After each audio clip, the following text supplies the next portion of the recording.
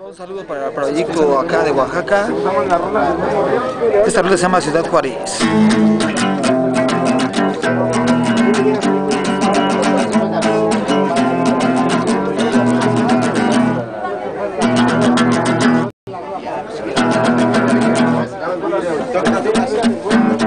En la frontera existe